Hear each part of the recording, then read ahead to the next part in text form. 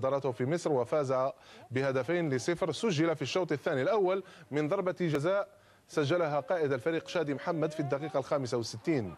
وقبل نهاية المباراة بعشر دقائق أمن النجم محمد أبو تريكة النتيجة لفريقه بتسجيله الهدف الثاني. وتأهل الهلال السوداني بمعجزة كبيرة بفوزه بضربات الترجيح 3-2 على ناصراوى الجنوب إفريقي بعدما تعادل ذهابا وإيابا بثلاثة بثلاثة أهداف مقابل ثلاثة. ظفر الله.